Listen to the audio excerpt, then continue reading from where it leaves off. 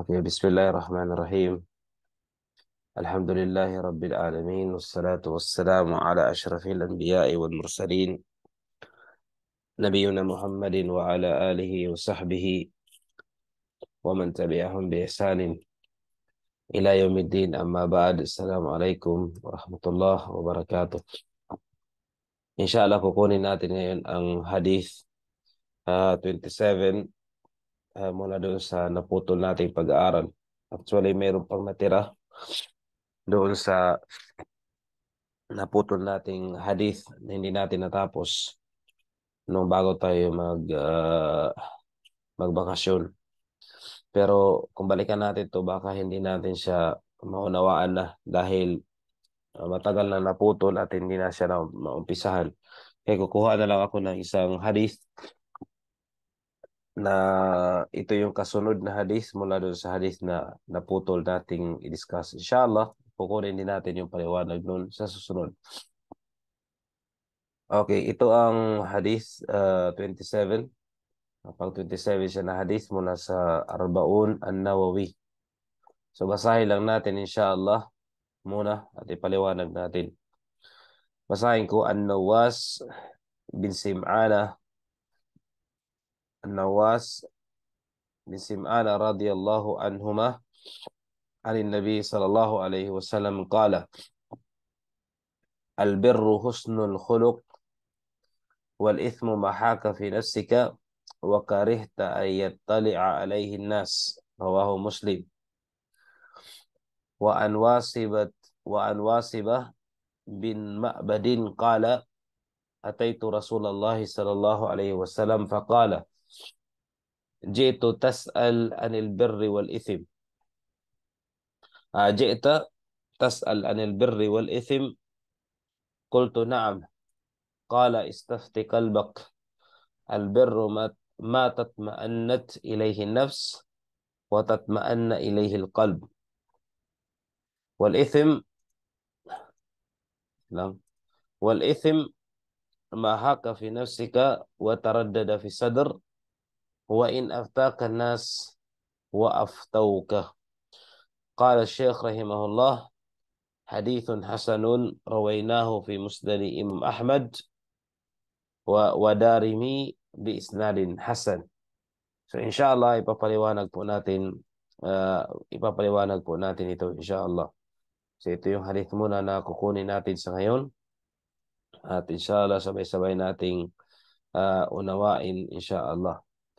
So sinabi, uh, kung babalikan natin, ang Nawas, ito siya ang nag-ulat. Isa sa mga kasamahan ni Propeta Muhammad sallallahu alaihi wasallam, siya ang nag-ulat na sinabi ni Propeta Muhammad sallallahu alaihi itong hadith, Al-birru husnul look. So inshallah kukunin natin ang paliwanag nito. Qawluhu al-bir. Ano bang ibig sabihin ng al-birru sa Arabic? Kasi ito ay Arabic. Al-bir ay alladhi dhakarahu Allah Ta'ala fil Quran. So albir ay ibig sabihin kung ano itong binanggit ng Allah Subhanahu wa Ta'ala sa Quran, yun ang ibig sabihin ng bir. Kung sa Tagalog, ating i-translate siya ay ang bir, ang ibig sabihin ng bir ay ang kabutihan. Kaya ang kabutihan sa magulang tinatawag na birrul walidain. Al-bir uh, birrul walidain. Yan ay Arabic. Ang ibig sabihin nun ay kabutihan sa magulang. So ano ba ibig sabihin ng bir? Sa binanggit ng Allah subhanahu wa ta'ala, sa Quran sinabi ng Allah, wat taqwa. Wa ta'awanu 'alal birri wat taqwa. Magtulungan kayo. Ang ibig sabihin ng ta'awanu ay marami kayo. Ibig sabihin sama-sama kayo. So, tinatawag na magtulungan kayo sabay-sabay, kayong lahat, magtulungan kayo saan? Sa bir. Ano yung bir? Kabutihan. Wa ta'awanu 'alal birri. Magtulungan kayo sa kabutihan. Mayroong isang tao uh, gumagawa ng kabutihan, tulungan natin maging uh, makagawa rin tayo ng kabutihan. O kaya yung mga bagay, halimbawa sa pagpapatayo uh, ng masjid. May tao nagpapatayo ng masjid. Gusto natin makatulong. Bigay tayo ng kunting halaga. Ibig sabihin nakagawa tayo ng bir, nakagawa tayo ng kabutihan. Mayroong isang tao, uh, gumagawa ng tao dyan, uh, nagsasala, halimbawa, at hindi siya ganong uh, marunong pa, tulungan natin, yung neighbor, magtulong sa kabutihan. So, magtulungan kayo, sabi ng Allah sa Quran, magtulungan kayo sa kabutihan at sa pagkakaroon ng takwa. At ang ibig sabihin ng takwa ay yung uh, bagay na ginagawa natin dahil inutos ng Allah at uh, paglayo sa mga ipinagbabawal ng Allah. Okay, ganun po ang ibig sabihin ng takwa. Wal birru kalimatun tadullu ala kathratil khair. So ang ibig sabihin ng bir ito ay tumutukoy sa isang salita na napakaraming kabutihan. Ibig sabihin, ang ber, ibig sabihin, napakaraming kabutihan. Ibig sabihin, magtulungan kayo sa napakaraming kabutihan. Yun po ang ibig sabihin ng ber. So yun ang sabi ni Propeta Muhammad SAW, al-birru. So ngayon, kasama sa al-birru, kasama sa kabutihan ay ang husnul khuluq. Anong ibig sabihin ng husnul khuluq? Ay husnul khuluq, husnul khuluq ma Allah. So, ang ibig sabihin ng husnul khuluk kasama sa bir, ang kabutihan ay ang pagkakaroon mo ng mabuting pag-uugali. So, tinuturo sa Islam ang pagkakaroon ng mabuting pag-uugali. Okay? Hindi po tinuturo sa Islam ang uh, pag-uugali na pinagbabawal, yung ugali na uh, masama kung hindi tinuturuan tayo ng Islam na magkaroon ng mabuting pag-uugali. So isa sa kabutihan ay ang husnul khuluq. Ngayon, anong ibig sabihin ng husnul khuluq? Ay ang pagkakaroon ng mabuting pag-uugali. Kasama yung saber. At ang pagiging mabuting ugali ay dalawang uri. Pagiging mabuting ugali mo sa Allah at pagiging ugali, uh, pagiging mabuting ugali mo sa mga alipin ng Allah. Sabihin, una-una, ang kabutihan ay kabutihan mo sa Allah pagkakaroon mo ng mabuting pag-uugali sa Allah at ang pangalawa ay ang pagkakaroon mo ng mabuting pag-uugali saan? Sa nilikha ng Allah o sa mga alipin ng Allah. Hindi lang sa tao kung hindi sa lahat ng nilikha ng Allah subhanahu wa ta'ala. Okay. Anong ibig sabihin ng husnul khuluq ma Allah? Sabi niya, fa amma husnul khuluq ma Allah fa an tatalaqqa ahkamahu asy-syar'iyyah birrida wa taslim. So, paano tayo maging mabuti? Paano tayo maging mabuti sa pakikitungo o pag-uugali natin sa Allah? Ay ito po ay ang uh, pagsunod. Ah, pagsunod natin sa mga ipinag-uutos o sa mga batas ng Allah Subhanahu wa Ta'ala. Sabihin na ating kung mayroong batas ng Allah Subhanahu wa Ta'ala, tanggapin po natin ito berrida na tayo ay tinanggap natin ito buong puso sa ating mga sarili. Okay? Buong puso sa ating mga sarili, tinatanggap po natin ito. Kung ano man ang batas ng Allah. So what taslim, sinusuko natin ang kalooban sa Kanya. Isa pa dito, kaya nga mga kapatid sa pananampalatayang Islam, hindi tama yung sabihin nila ng mga lagi ka itong sinasabi.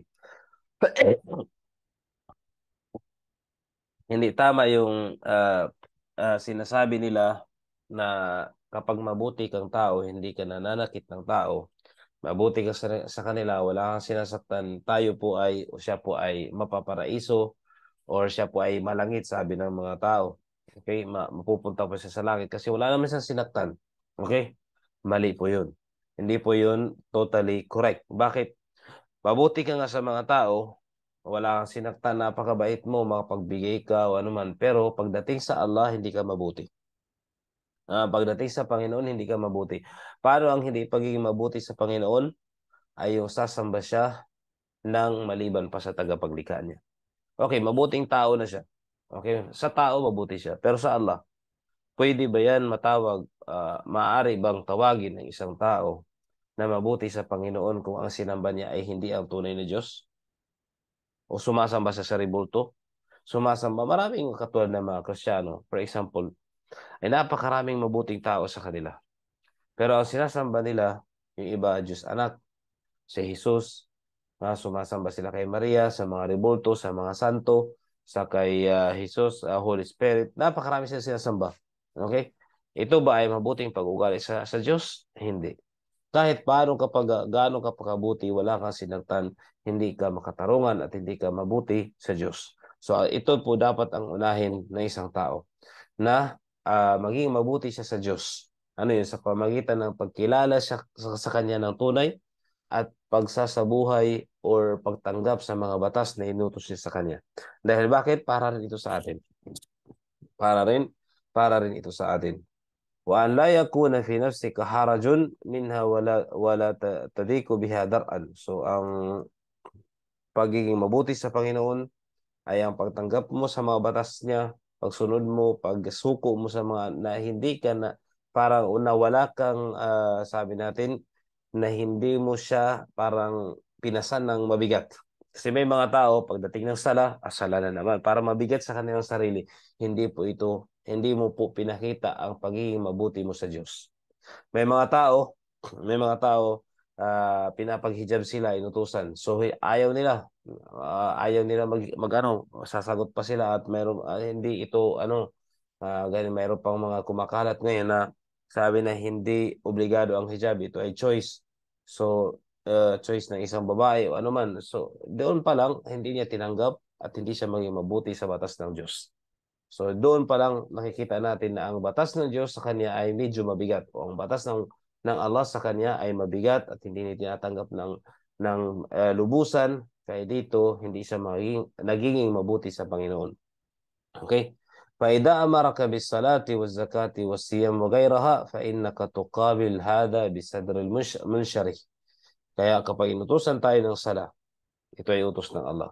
Ito ay inutusan tayo magzaka, inutusan tayo mag-ayuno, mag-fasting at iba pang mga utos ng Allah, dapat tanggapin natin ito na maluwang ang ating puso at ang ating dibdib. Sa pagtanggap nito, talagang kukunin natin at susundin natin. Yun po ang pagiging mabuti sa sa Allah. So magkakaroon ka ngayon ng kabutihan sa Allah ah, o kabutihan sa uh, sa Allah na uh, pinadala niya ang mga batas na tinanggap mo ito.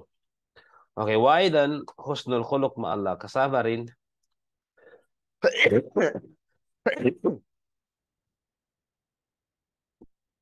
kasama rin sa pagiging mabuting pag-uugali sa Allah, ah, husnul khuluq ma Allah fi ahkamihi al-qadariyah. Kailangan ang pagiging mabuting pag-uugali mo, pagiging mabuti mo sa Allah ay ang pagiging mabuti mo at pagtanggap mo sa kanyang ahkam al-qadariyah, yung uh, tinadhana niya sa tao, uh, sa ng mga batas. Wal insan laysa daiman masruran, tanggapin niya, tandaan niya na ang isang tao ay hindi palaging masaya normal yan ang buhay natin dito. Minsan masaya, minsan uh, hindi, minsan mabuti, minsan mahirap. Yun po ang uh, ang tao. Minsan uh, tawag diyan, minsan uh, mabuti siya sa sa ano, nalulungkot, uh, minsan masaya siya, mamaya malungkot na naman siya Sa lahat, sa, sa pamilya niya, sa kayamanan niya, sa anuman, حيث يأتيه أن يح... حيث يأتيه ما يحزنه في ماله uh, darating sa kanya minsan nalulungkot siya sa uh, kanyang kayamanan bakit unti lang sa kanyang pamilya may nangyari sa kanyang sarili nagkasakit siya okay aw fi mujtama'ihi sa kanyang society so bakit magulo okay Walladhi qaddara dhalika huwa Allah so ang nagtadhana nito ang Allah subhanahu wa ta'ala kaya paano tayo magiging mabuti sa Allah? Ang tanggapin ito. Pa paano tayo magiging mabuti sa Kanya? Tanggapin ito. Wa taqumu bima umirta bi wa tanzajir amma nuhita anhu. So kailangan uh, tanggapin natin ito na kung ano man ang ipinag-utos ng Allah, ano man ang dapat nating gawin at iwasan kung ano man ang ipinagbabawal ng Allah Subhanahu wa Ta'ala. So yun po mga kapatid. Okay. Amma husnul khuluq ma'an nas. Ngayon naman punta tayo sa mga tao. Kuha natin yung kanina sa paano tayo magiging mabuti sa tao. Paano mabuting paano tayo magiging mabuting pag-uugali o ipapakita natin ang pagiging mabuting ugali natin sa mga tao. Pagkat sabaka annahu badlun nida wa kafful ada wa sabru alal ada wa talakatul wajh. So ito po ay nakuha natin nung nakaraan sa amin, Sheikh badlun nada wa kaful adha wa, sabru alal adha wa talaqatul wajh ito yung pag uh, ibigay mo yung uh, pagiging mabuti sa kanila maging mabuti ka sa, sa mga tao tapos uh, kaful ada iwasan mo na masaktan sila sa pamagitan ng kamay mo sa salita mo o ano man Tapos uh, magtiis ka sa anumang mga mga sakit na dinana na dinanas mo sa sarili mo o sa ibang tao. Kasi may mga tao minsan wala kang ginagawa, nagsasalita sila, binubuli binubuli ka o ikaw ay uh, uh, sinasaktan ng salita. So ikaw ay magsabar, ikaw ay magtiis sa mga ganito. So ibig sabihin kahit pa binato ka nila ng masamang salita, eh, hindi mo pinakita yung masama mong ugali. Kung hindi, ikaw ay nagtiis ha, sa kanilang pananakit o kay sa sarili mo, minsan nagkakasakit ka ha, uh, at ito ay nararamdaman mo, magtiis tayo. Inshallah, gawin natin ang makaya natin. Inshallah, at ang hindi natin makaya, paubayan natin sa Allah. Wa talakatul wajh. Ang ibig sabihin ng talakatul wajh ay yung pag uh, magiging mabuti ka sa um, pa, parang uh, smiling face ka. Mm kung ganun, smiling, na dapat maging smiley ka sa sa tao. Inshallah. Okay, uh,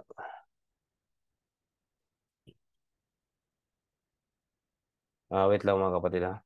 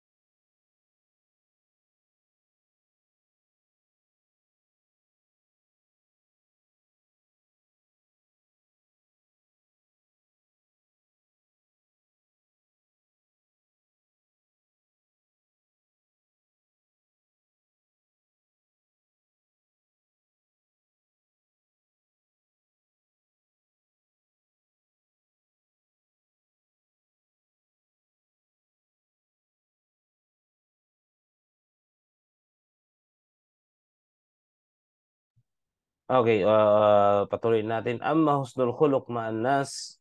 Uh, so, yun na yung sabi natin kanina. Hada huwa al-bir. Ito po sabi ni Sheikh, ito ay bir. Wal muradu bihi al-birrul mutlaq. Wal muradu bihi wal muradu bihi al-birrul mutlaq. So, ang bir o ang kabutihan, lahat na uri ng kabutihan. Lahat ng uri ng kabutihan na kaya uh, ibigay ng tao sa kanyang sarili o sa ibang tao. وهناك بر خاص uh, كبر الوالدين مثلا mayroon namang mabuting uh, uh, pag-uugali na espesyal katulad ng kabutihan sa sa magulang. وهو الإحسان إليهما بالمال والبدن والجاه وسائر الإحسان وسائر الإحسان uh, wait lang mga kapatid may emergency lang pasensya na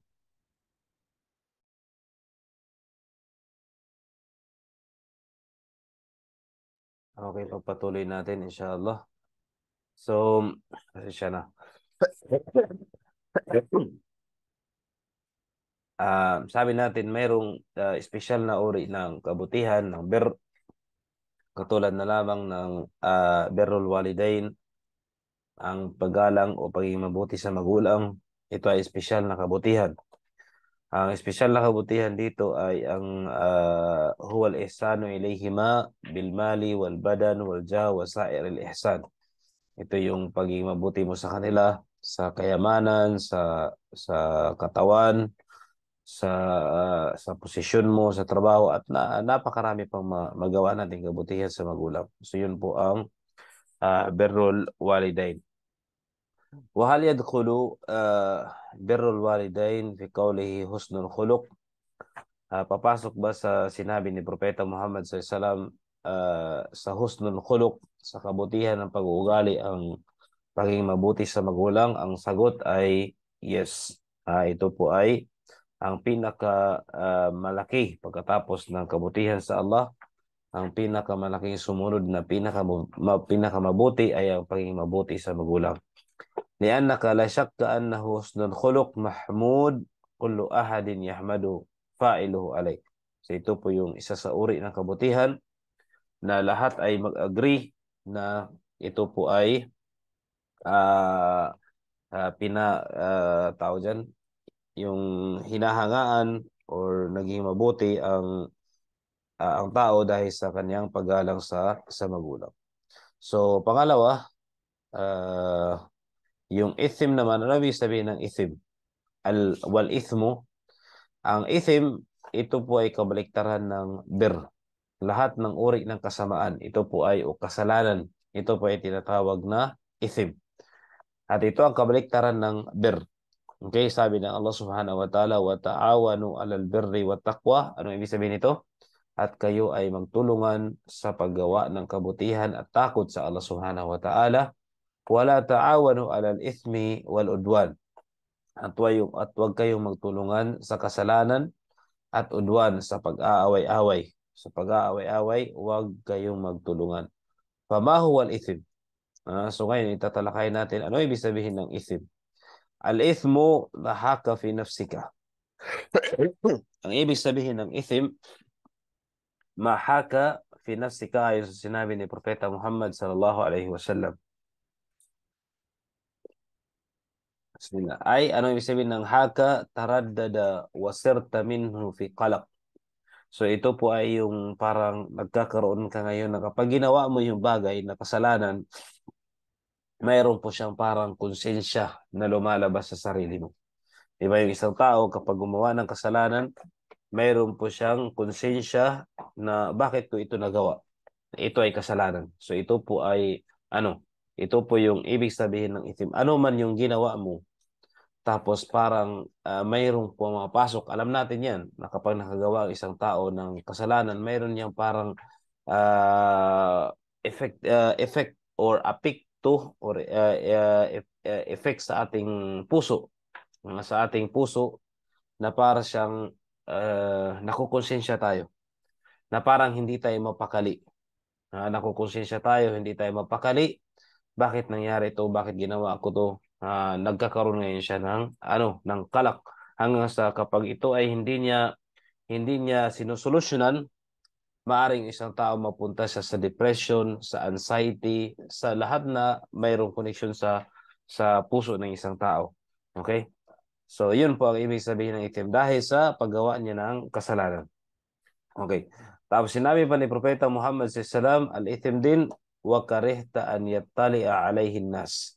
At ito po ay kapag ang ithim ay hindi ka nalulugod na makita yung ginawa mo ng tao. Ha? Hindi hindi hindi hindi nila uh, hindi maki, hindi nila makita nila na hindi mo hindi mo gusto hindi mo gusto na makita makita uh, makita nila ang ginagawa mo ng uh, ginagawa mo ng mga ta- ng mga tao So, uh, I mean, uh, hindi mo gusto na pag ginawa mo yung kasalanan na ito, ayaw makita ito ng mga tao. Yun ang ibig sabihin ng, uh, yun ang ibig sabihin ng uh, tawag dyan, uh, uh, itim. Uh, itim. Yung karehta yatali alayhin nas ay li'annahu mahallu bin wa aib. Dahil kasal, kar, lahat, lahat ng kasalanan, ito po ay dam. Ito po hindi mabuti. Hindi po ito mabuti at uh, aib siya. Ibig sabihin ng aib ay hindi mo siya nagugustuhan. Na hindi mo siya nagugustuhan. Parang aib siya yung uh, parang hindi mo kaya na makita ka ng tao na ano. Halimbawa, ano lang, ang ibig sabihin ng aib yung pag ang isang tao halimbawa uh, naninigarilyo siya. So, ang isang tao, parang kung siya ay religious na tao, aib sa kanya parang hindi mabuti na nakita ya nakita sa kanya practicing siya ng Muslim, nakita sa kanya na nigarilyo siya or umiinom siya ng alak. So yun po ang ibig sabihin nun. Fa fatajaddad uh, fatajidu uh, fatajiduka mutaraddidan fihi wa taqrah an yattali an-nas alayka. So uh, makikita niya mutaraddid siya, parang mayroon siyang konsensya sa kanyang sarili at ayaw niya makita itong kasalanan ito ng ibang tao. Uh, ayaw niya na makita ang kasalanan ito ng ng ibang tao. Wa hadhihi al-jumla هي لمن كان إنما وهذه الجملة إنما هي لمن كان قبله صافيا سالما صافيا سليما فهذا هو الذي يهوك في نفسك ما كان إثما ويقرأ يطلع عليه الناس So, ito po sabi ni Sheikh Rito, hadil jumla innama hiya liman kana qalbuhu safiyan saliman. So, itong kasalanan, mararamdaman po ito mga kapatid. Kasi may, depende po sa tao. Depende po sa tao. Itong mutaraddid, itong konsensya na lumalabas sa isang tao kapag nakagawa siya ng kasalanan, kahit maliit na kasalanan, nagkakaroon siya ng konsensya sa, sa kanyang sarili, para hindi siya mapakali. Ito po ay kapag ang puso niya ay safi, malinis. Ha? Malinis po. Ha? Ayaw niya makita ito ng mga tao dahil malinis ang puso niya at nakagawa siya ng kasama, malinis siya. Mayroong iba, ha? yung iba, amal mutamarriduna al-kharijuna an ta'atillah alladina kasat kulubuhum fahaulai la yubalun. Mayroon namang ibang tao na muta, mutamarridun na sila. Ibig sabihin talaga matigas na puso nila. Lagi na silang gumagawa ng kasalanan. Halimbawa, yung mga, yung mga mamatay tao, uh, minsan sa umpisa pa lang doon sila nag Pero kapag ginawa nila palagi, nawawala na ito. Uminom ng alak nung umpisa, okay, uh, may karoon pa siya ng konsensya. Tapos lagi siyang uminom, nawala na itong ano. So ito po ay yung tinutukoy dito na nakukonsensya ka. Ito po ay malalaman mo na ang puso mo ay malinis pa. Ha? Malaman mo na ang na ang ang puso mo ay malinis. Malaman? Ang puso mo ay malinis kapag sa kunting sa, sa kunting kasalanan na ginawa mo, ha, ito po ay uh, nagkakaroon ka ng konsensya. Pero kapag hindi malinis ang puso ng isang tao, diba, palagi siyang gumagawa ng kasalanan, hindi niya na ito mararamdaman. Warubbama yata, uh, yatahabbabuna bi, bi fi'lil munkar wal ithm. Mayroon pang ang iba uh, maaring uh, gusto na nila uh, uh, ang paggawa ng kasalanan. Subhanallah. Uh, gusto na nila, ma yung iba ay maaring gusto na nila ang paggawa ng ng ng kasalanan. So, a'udhu billah, nawa ilayo tayo ng Allah sa ganong uri ng uh, puso. فالكلام هنا ليس عاما لكل أحد بل هو خاص لمن كان قلبه سليما ظاهرا نقيا So itong sinabi ni Propeta Muhammad sallallahu alaihi wasallam na ano mga kapatid na puso ana tawag dyan kapag nakagawa siya ng kasalanan ay magkakaroon siya ng konsensya ito po ay kapag sa puso niya ay malinis tandaan natin kapag isang tao nakagawa ng kasalanan at nakokonsensya siya sa ginawa niyang kasalanan at hindi siya mapakali dito at ayaw niya makita yung kasalanan na yun ng ibang tao, ibig sabihin patunay ito na mayroon kang iman, mayroon kang pananampalataya sa Allah. Patunay yan na ang puso mo ay malinis. Pero yung tao na lagi nang gumagawa ng kasalanan, parang baliwala sa kanya. Halimbawa, sa mga kababaihan, kung lalabas sila na wala silang hijab, hindi sila mapakali. Kailangan maghijab talaga sila. Pero mayroon namang iba, mga babae, na wala lang sa kanila. So magkakaiba po ang puso nila. Yung isa ay malinis ang puso, yung isa naman ay uh, maaari sabihin natin, hindi siya gaanong kalinis ang, ang puso niya dahil sa pagsuway niya sa Allah subhanahu wa ta'ala. Depende po yun sa, sa tao. So yun po, okay, yung isang tao uh, nakagawa ng kasalanan, kunti halimbawa uh, nakapagsalita siya ng masama sa kapwa, tapos na-realize niya Sabi yun, bakit? So, na, yun ang ano ang, ang konsensya na, na dumating sa kanya. Ibig sabihin, yung puso niya ay malinis. Pero isa lagi na naggumura, lagi na nagsasalita ng masama at hindi niya na napapansin ay uh, yun. Uh, yun po ang ang ano niya, ang tao dyan, ang sa kanya ay parang baliwala na. Wala na siyang maramdaman konsensya. Wala na siya maramdaman na anumang parang uh, panghihinayang sa ginawa niyang kasalanan. So, yun po mga kapatid. So, tapos, فَإِذَا كَانَ هَمُّ فَإِذَا كَانَ إِذَا هَمَّ بِإِثْمٍ وَإِنْ لَمْ يَعْمَلْ أنه إثم من قبل الشر فتجد مترددا يقرأ أن يطلع الناس عليه وهذا ضابط وليس بقاعدة أي علامة الإثم في قلب المؤمن. So yun po ang alama, yun po ang isang senyales na sign na yung isang tao malinis ang puso niya kapag ang isang tao ay kapag gumawa ng kasalanan ay siya po ay ma, nagkakaroon ng konsensya na nagkakaroon ng pang uh, parang hindi siya mapakali sa puso niya at gusto niyang alisin yun sa paghingi ng tawad para maging malinis ang puso niya. So yun po mga kapatid sa pananampalataya Islam. So kuha kunin natin ang min fawaid al-hadith. Uh, okay inshallah. Uh, kuha lang tayo ng ilan sa faida ng hadith at uh, uh, isa lang ang ano natin kukunin natin. Uh, tapos uh, isang subject lang muna tayo mga kapatid kasi hindi ko pa kaya ng boses ko. Uh, makati pa yung lalamunan at saka Ah, medyo paus pa. Okay, isa sa aral na makuha natin sa, sa hadith na ito, anan nabiya sallallahu alayhi wa sallam a'ta jawami al-kalim. U'tiya jawami al-kalim. Ang propeta Muhammad sallallahu ay binigyan po siya ng general words. Ibig sabihin, ng general words, ibig sabihin kapag may sinabi siya, sasakupin niya ang napakaraming uh, kahulugan. Isang salita ni propeta Muhammad sallallahu alaihi wasallam sasakupin niya at maglalaman ito ng napakaraming kahulugan at na magpaparating ito ng napakaraming mensahe. Yun po ang ibig sabihin ng Jawami il-Karim. Hindi katulad ngayon, napakaraming salita, napakabilis na salita. So, mashallah, yung iba nagsasalita para siya lang, parang armalite yung kanilang bibig. Pero ang naisip parating niya ay kukunti lang. Uh, na, kukunti lang ang kanilang naisip parating. Kabaliktaran sa Propeta Muhammad SAW.